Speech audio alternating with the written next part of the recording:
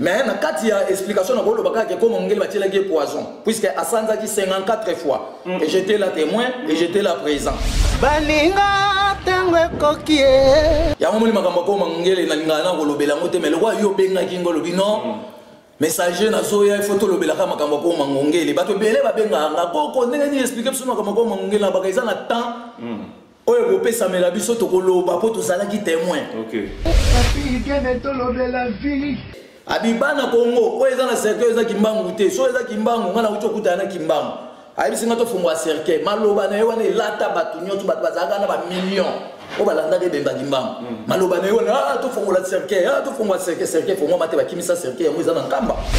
mokote kwensikwe o oh. tolobela vie tokengelaki ye na bandenge nyonso tout mais azalaki menance par l'église kimbangiste baenlèvement mm. en plusieurs fois mm. surtout to azokeba émission na ba rtnc wapi wapi boyokaka pamfu moto baleve boluki ye kishasa mo bozwi ye te mais c'est l'église kimbangiste non awa balobi nini bapigene tolobela vie cercueil wana oza na mwana eza ekeko mm. sikoyo sango wana epanzani bato nyonso bakomi kotyaka miso ekeko eza wana ekeko eza wana ata babeti kara r mo batali ata ekeko ezali cetadire suka nango ezokende ifo ekeko ebima mai sikoyo moto aye na sekret wana se baotika ye ka bongo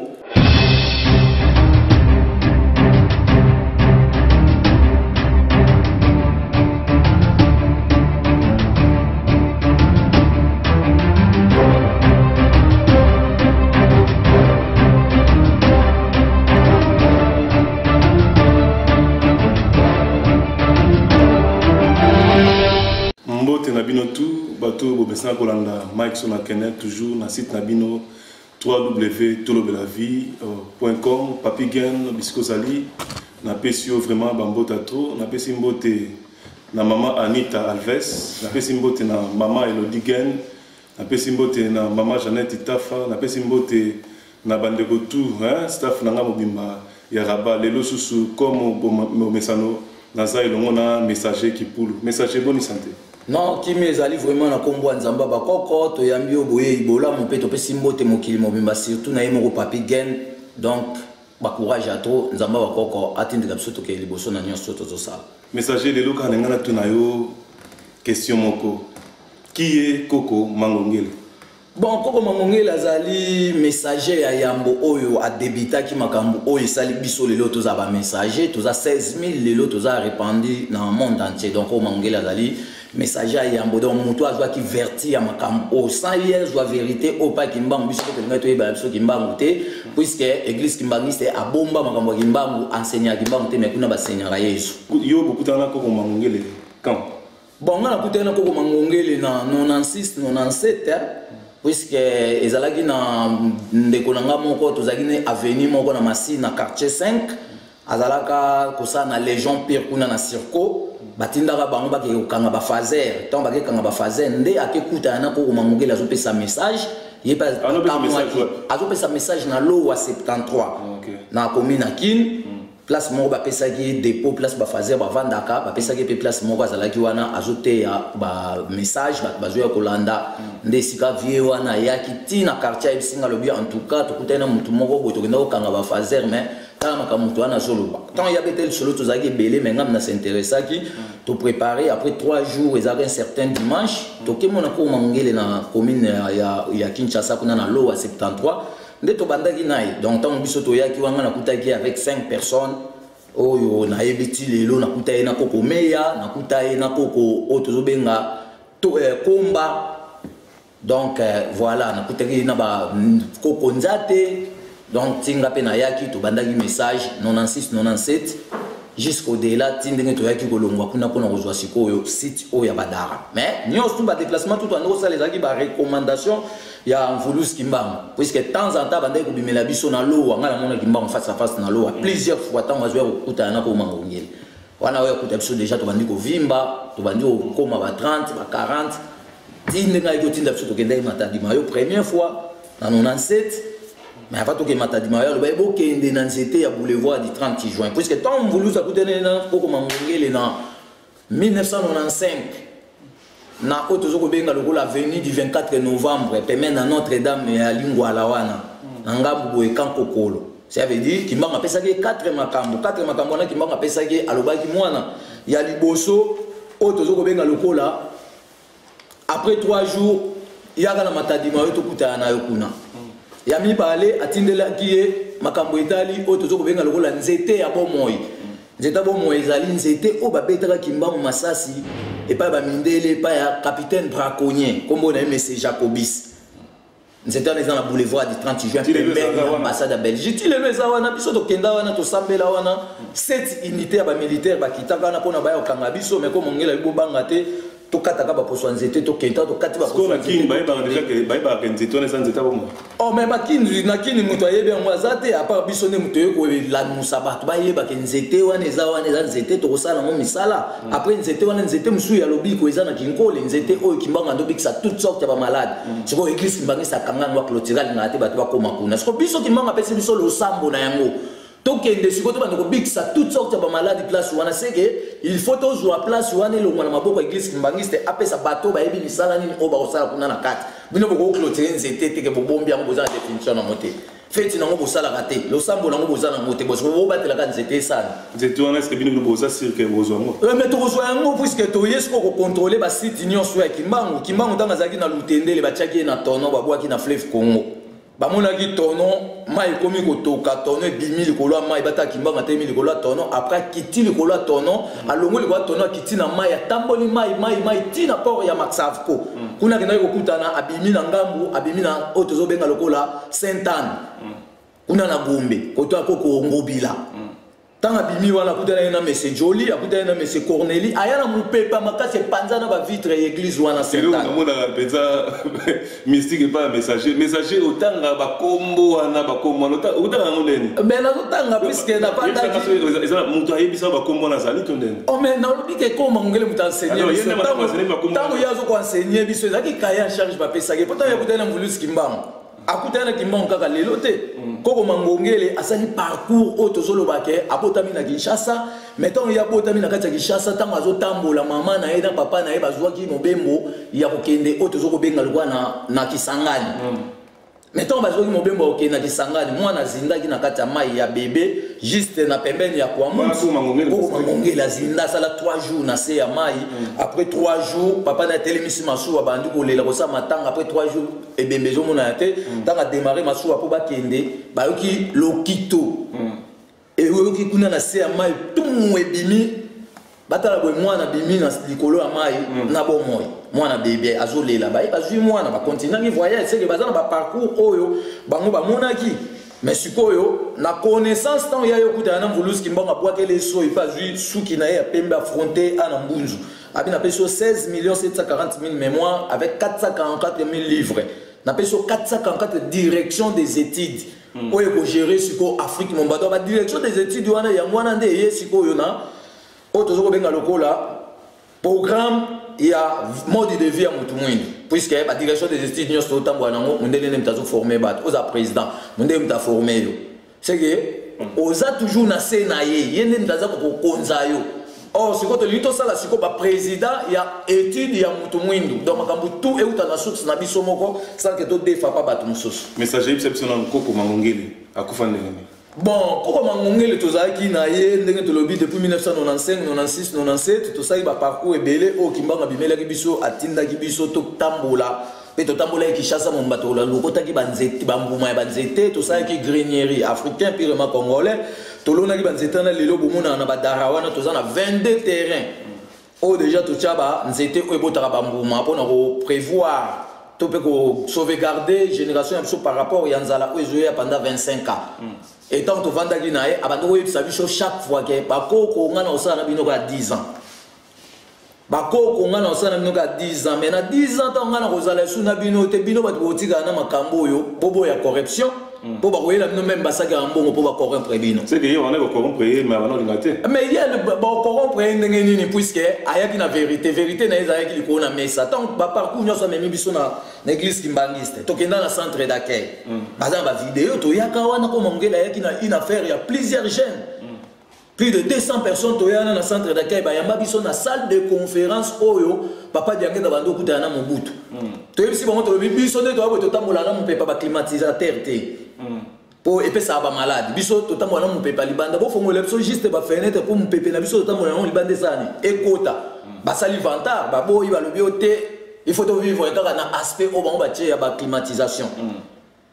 mais na minute wana bamona ye fréquence echange na kati ya salle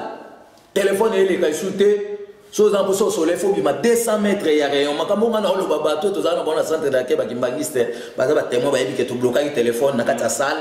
mpe toexposele ye bango makambo toyebisa ye bango bino boblokaki yango to kimbangu ablokaki mais biso toya bakimbangu te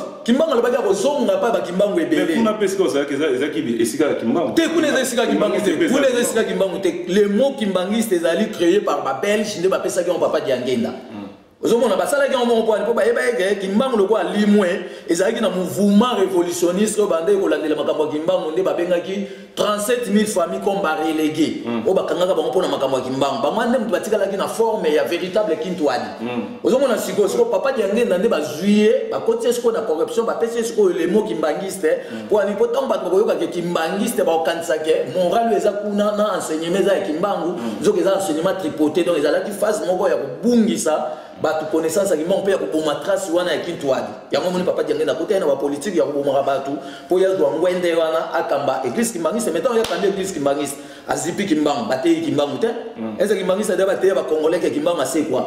ese bayebi yango bayebi yango te donc baza na quelque trace kaka oyo bango balobelaka me makambo minene babomba mpo bayebi yango te bazwaki kaka histoire likolo likolo biso toyebi yango te totanga toyebi te mais du moins bino nde bozoba kimbangu asekwa kimbangu asekwa na mbata kundai na na na kamba te oyo oh, eza na kamba ngai naloba yango chaque fois ke wana eza nzoto ya kimbangu te mpe kongo ekobonga so tocumoli ekeko wana ngai nalobela makambo ekeko te nalobaki ekeko wana mokoto ocumola cercueil wana naza temoin na oloba yango devant tout le monde mokoto ocumola cercueil eza na nkamba bomona numero 903 Pour na prouver bino que na yebi place cercueil ou na Belgique. Mais cercueil oyo etikala kuna Lubumbashi ya Muluba wana Chibangu Simon. Numéro matricule nango ezali 1551. Ba déterrant yango te. Cercueil oyo papa Diangenda ponaka na ndenge na ye. Bango bayebi makambo ya Kimbangu te. Samba yaki na Bembe na 1960, le 2 avril 60. Ezalaki samedi na 16h ekiti na Bichingobila, partir Bichingobila kotiango avenue 24 novembre Ipen matadi mayo mobulu ebimaki kuna mpo papa moko abimaki wana komona ye papa kiama aza moteke ti lelo azali akima na plateau bateke mpo papa diange na koma akolukisa abongisa aboma ye ti lelo papa wana azali ayaka mpe kotala biso de kasi papa wana koko mangongele moto alakisi biso atangisi biso masolo na ye ntina mikanda na biso mm. nkombo ya papa wana ezali mm. mai tovanda moko mosusu na badarabwe papa wana ya kotala biso mpona apesa biso lusansu ke wi ya solo bana makambo ndeko na bino ayebisaki bino ezalaki ya solo mpo ye nde moto aloba verité ke tofongola cercueil abiba na congo oyo eza na cercueil eza kimbangu te so eza kimbangu ngai nauti okutana na kimbangu ayebisi ngai tofongola cercueil maloba na ye wana elata bato nyonso bato bazalaka na bamillion oyo balandaka ebemba kimbangu mm. maloba na ye wana ah, tofongola cercueil ah, tofongola cercueil cercueil fongwama te bakimisa cercueil yango eza na nkamba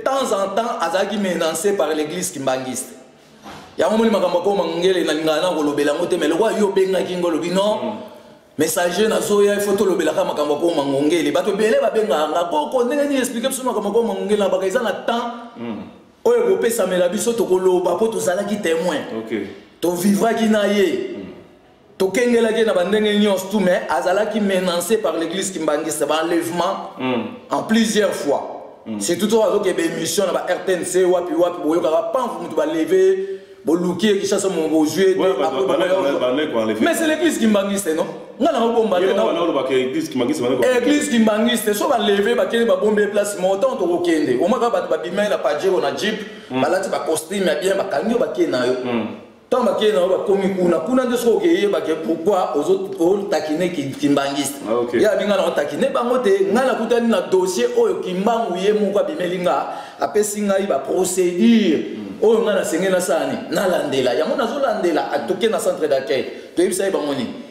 tobi soki ya solo bozali bakimbangu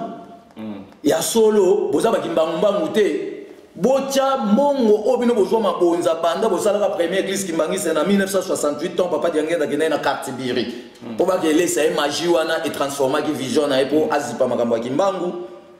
Bocha ba panneaux publicitaires ya ba photos Kimbangu banda maluku ti centre ville. Ah ba na mbongo mabonza. Na mbongo mabonza wana. Po eza mbongo na bango te. Hmm. Eza mbongo asoma mituka te po bo renya na ngo. Eza mbongo oyo ebimi na kombo Kimbangu, loko ebimi na kombo Kimbangu, Kimbangu aza universel. Hmm. C'est mbongo wana faut bosala ba entrepôt hmm. bosala babilanga minene bosoutenir peuple bosalela bango vie sociale eza mbongo teke bozwa mbongo mpa bato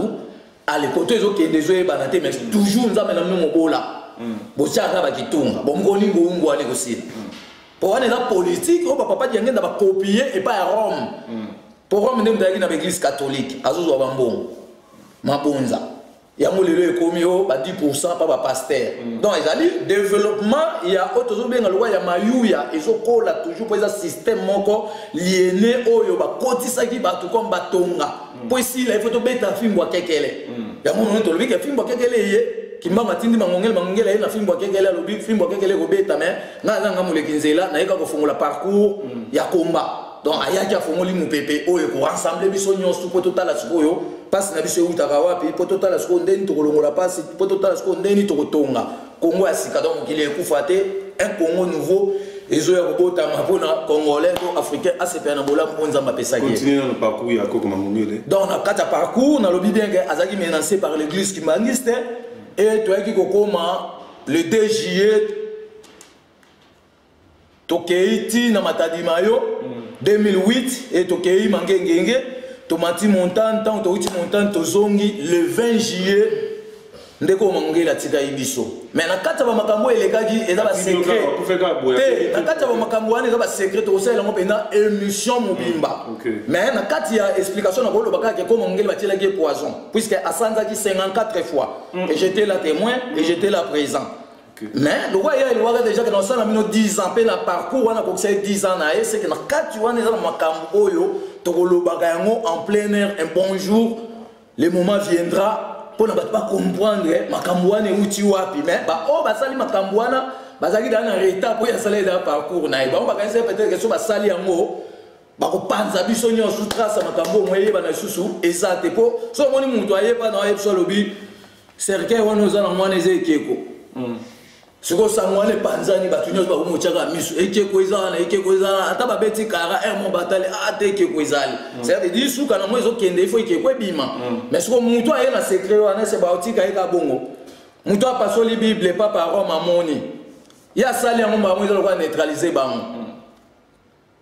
ozomona donc yango nabike kimbangu ntango tokutanaki na ye apesaki biso procédure ya 4 makambo tokende na nzete ya boulevard 30 juin mpo to renforcer état d'esprit na biso tokende na nzete ya kinkole tokendaka na kinkole kimbangiste ya abeng bamilitaire donc place du tout so biso olobi kaka tokoya awa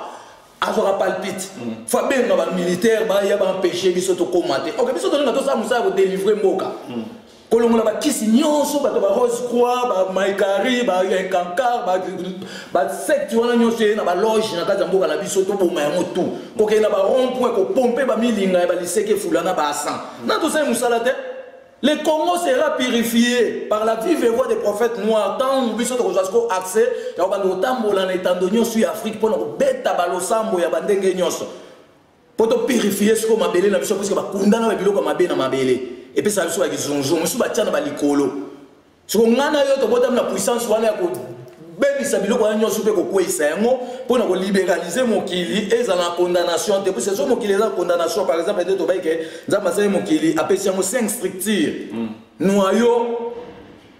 akabwami na deux parties interne na externe toza na troposphère toza na croute superficielle toza na oxygène tozali na oyo tozobenga eh, manteau sikoyo na kati ya bamakambo wana bakoko batiaki mibeko balobaki ke place nyonso te tokocumola mabanga me mindele bazwi na afrike bazocumola mabanga na desordre baokipe place te ezokopesa badeséquilibre donc à la longue bamabele na biso banda kobukana mpamba mpamba mabele na biso ekoma na ba déséquilibre sikoyo mpo tobatela makambo wana il faut tosala sikoyo mibeko yango tobi mibeko eye sikoyo na communauté internationale de l'homme noir aye kopekisa mondele mm. communauté yango ngai naoloba ngai na créé yango te eza mopepe nde moto ezwi ya kofandisa makambo wana mm. eza ngai na yo mm. africain nyonso oyo azotambola azali partout aza na susi ya mboka na ye na makanisi azokanisa mboka na ngai ekobonga ndenge nini oza na fardeau donc biso tout toza bana bilaka toye koaccomplir mission oyo kimbangu alobaki ke na génération oyo akolata biso nyonso akobimisa bosoto to lokuta ya église kimbanguiste mpuasa bakokanga bango bakosamba mpenza boya plein air messager na ngai natuna yo eloko moko koko mangele après avoir kokufa alekaki pouvoir na ye pana te eza na remplaçant na ye azali après donc koko mangele moko aza to ndenge atiaka bato mbala moko te koko mangongele ntango ye atiki biso atika ye pouvoir pa motu te pouvoir alobaki ezali puissance nasi soko otali nazokoma place wana soko otali émission tosalaka na papa césar kuna na badara ntango ayaka mm. batunaka ye ko mangongele après ye ekozala ndenge nini alobi mais après mangongele bamisusu bango ye après bango bamisusu bazali baza continuité de, de programme mais ntango tozalaki na ye tozalaki na administration mm. ça veut dire na administration toza na ba hiérarchie mm. oyo sikoyo tozoloba ke après mangongele tokoremplace mangongele na motu te mais administration sikoyo atikali mpona kogere makambo nyonso oyo mangongeli atikaki mpo tokabolela sikoyo peuple na biso ayeba sikoyo ke biso bato vandeli na koo mangongeli makambo nini alakisa ye bino mpo alakisa ye makambo ebele tobi 444000 livre seke enseignement mpenza mobimba ezali koto prière ifo todefini prière ya moto moindo eza ndenge nini koto bénédiction ifo todefini bénédiction moto moindo eza ndenge nini koto ya oyo tozobenga conjugaison ifo todefini puiske to toloba lingala obe tolobaka kikongo eza na conjugaison so balobi verbe être ota présent na kikongo mokele eza conjugaison hmm. kote mosusu babi nazali hmm. seke bakoko mpe baconjugaki sikoyo conjugaison wana nde tozoya nango sikoyo mpo todiskute na oyo tobenga nini oyo tozobenga nini enseignement ya, ya nini ya ya afrique mobimba bakotisa sikoyo baconjugaison ya motu mwindu selo pense na ye ebanda sikoyo kofonctionne na kati ya baekole ozomona donc tozoboma baekole na sense ya koboma baenseignement étranger oyo eyaki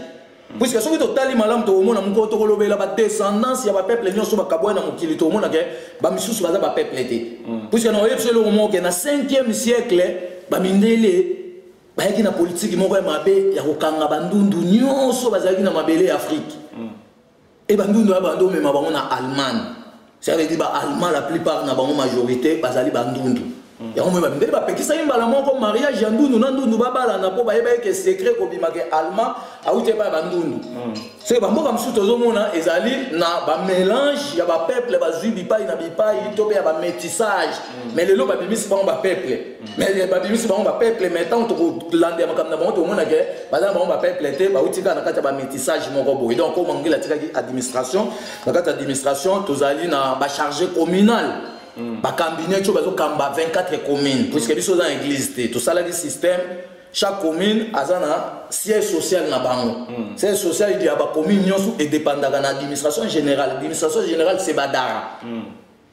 yango nalingi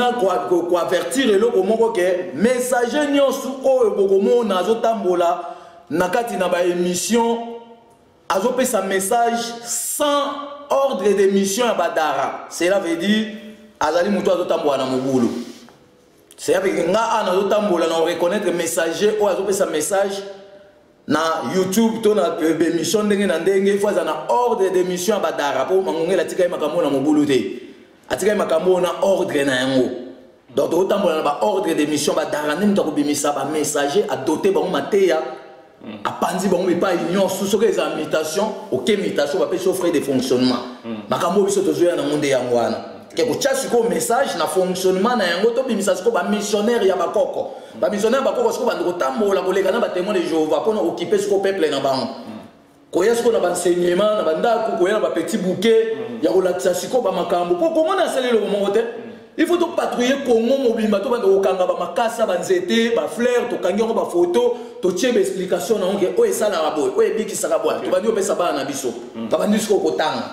bazotalaka yango capture ya miso na bango wana ezokanga biloko wana bafoto mm. ezotikala omona mwana okola na spécialisation moko boye ke lobi kuna azala na foto azala na foto te ayebi ke so nakoti zamba likasa boye esalaka boye mm. so nakoti zamba racine boye esalaka boye donc ekomi ngonga oyo tokozala su fin du monde te ma ekomi ngonga sikoyo d'apprendre kozwa sikoyo bacontenu ya biloko ya mboka na biso to banda kolakisa peuple na biso ke oyo so basangisi na oyo esalaka boye oyo so basangisi na oyo esalaka boye donc eza sur temps te ke oyo bapaster bayaka o oh, vene vewa le miracle miracle eza te peuple azoniokwama ndeko messager na naza na motuna moko ndeko moko atunaki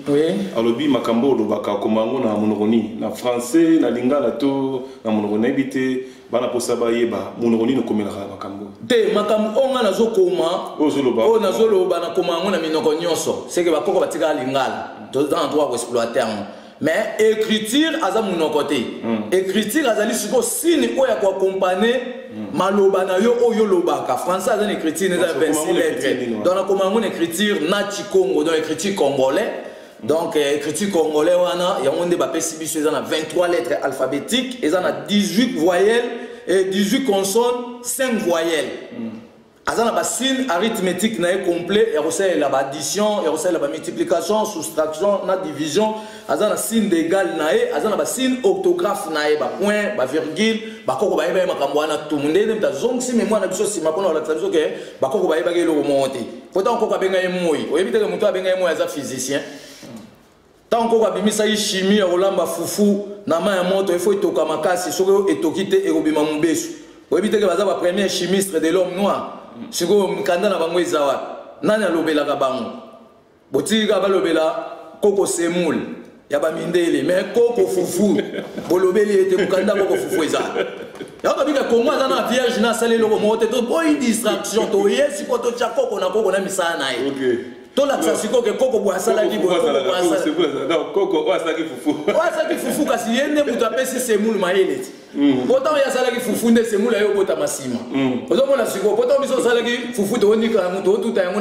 na liboka nzete mm. ere wana mondenge nasali mashine ya fufu te sikoyo fo totune obandeki komudra ye ndenge nini mpe mashine ya fufu oyo basali lelo ezobelisa bato bakancer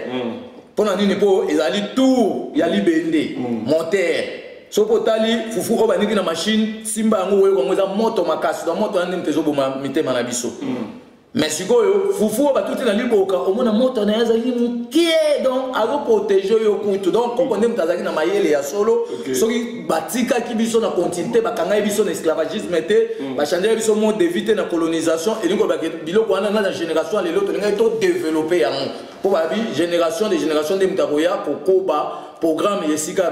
badescendant na bino basukisager faute de temps un mot de la fin soki opesa ata deux personnes euh, mbote eza malamu Ah bon, mbote na nga napesi kaka na bamessager nyonso tu oyo baza mokili mobimba surtout oyo bazali kuna na base fixe de la frontière mbanza congo biso benga yango mbanza congo tobenga yango kishasa te mpo tobayeke nkombo ya kishasa tobota mpo na koboma yango mm. so tobomi nkombo ya kishasa te poubele osila kuna te Depuis 1996 jusqu'à Lelo, donc en 2008, calculé. Parce que place où vous avez ces articles, Inde, oh, papa qui n'a qu'un Inde, papa qui n'a qu'un Inde. Eh, mais si vous avez Indien, bah, il va makamuna, biso, bah, il va babilo, que belé. Et là, bah, nous, on s'ouvre, bah, kanga, bah, on va kenda, bah, on esclavagisme, na. brésil hmm. bamemaka banzeta pondu bamemaka basoso ya mboka bamemaka hmm. biloko ebele yango moni brésil aza na une partie ya babiloko na biso mai hmm. bazokotisa biso ke manioko euta na, na brésil nzoka manioko euta na brésil te mpo brésil ayebi kosala malemba te mm. brésil ayebi kosala mikita te mm. bakolo manioko bayebani na misala na bango mpo bazosala manioko bazosala mikita bazosala oyo tozobenga malemba mpe makambo ebele donc ngonga eza moke mm. topesi kaka mbote na mokili mobimba tozokopesa ba éclaircissement oyo mpona moto na motu acomprendre te totambolaki na koma ngongele parcours ya molai makambo esili te un bon jour tokovanda mpenza tokobeta mm. makambo nyonso ndenge elekaki mpe bokoyeba réalité mais tosalaki déjà parcours totambolaki tovisitaki mm. bato nyonso balobelaka bonzambe ya bakoko tokomaka pa papa nkusu mm. tokomaka pa papa atoli na njili tokoma na centre mama mafuta kuna na rigini mm. tokoma na oyo tozo kobenga lokola papa bosekota na debonom mm. bana ya papa mpadi oyo azalaki relege ya mm. ya makambo ya kimbangu na 1934 na prison ya lowa mm. ça veut dire biso toza na plaisir ya komona ete motu mwindu akomi sikoyo koluka koyeba nzela na ye mpe bonzambe na ye donc lokumu na bakoko matondo na bakoko bafula toujours mopepe oyo tolobi ya clairvoyance mpo elongola biso na demagogie oyo yaki olalisa biso pongi mpo na tozwa sikoyo vrai sens ya évolution ya mode de vie na biso donc toza na temps plein ya koexploite bomoi na biso soki kaka toremplace tolongoli système oyo bayaki na yango totie système oyo bakoko bapesi na kati ya cahier de décharge yango wana nde motu ekobongola makambo nyonso mpo na kimia eyingela na kati ya ekolo na biso donc topesi mbote mokili mobimba nzambe ya koko na biso atambwa na mopepe na ye ntango oyo tozali mopepe na mopepe e 2018 tozokota na changement de fréquence bokomona ekozala ane moko ekozala makambo ebele mpe ekozalaka mopepe na mopepe mpo na message ya suka tobosani te lelo oyo bazoteka bato mwindu na mboka libi mm. ezali bilembo ya suka ezali elembo ekamwisa yo te ezali bilembo ya suka oyo bakoko bazodevoile na kati ya clairvoyance mpo na kolakisa yo ke makambo wana esalamaka deja banda kala me ngai nao nde toyebaka te tolobi yake bazwa biso bana nyonso oyo bandeko na biso ya bamaser babotaka bakenda batya bango na bafamille adoptif kuna na poto misu batya bango na bafoye mm. eza deja vente ya bato mm. bazozwa biso bazosalisa biso ba misala moko oyo ezali na mposa na biso te eza condamnable mm. ça veut dire esclavagisme to colonisation azali na plusieurs systèmes ya esaleli na yango mpona barendre toujours motu faible na mobimba ya makambo na ye mai biso lokola tobotami tolobi ke toye na puissance divine ya nzambe ya mpumu mpona mm. kopasola sikoyo misisa nyonso tu ya bazabolo to liberalize peuple na biso azala sikoyo tranquille na conscience mpona amiyeba sikoyo utilité nini oyo nzambe atindelaki biso na kati ya mokili to ntina nini nzambe apesa ye ngai na yo mokili oyo toza nango merci bozala toujours branché bosabonne massivement na site na bino tolobela vie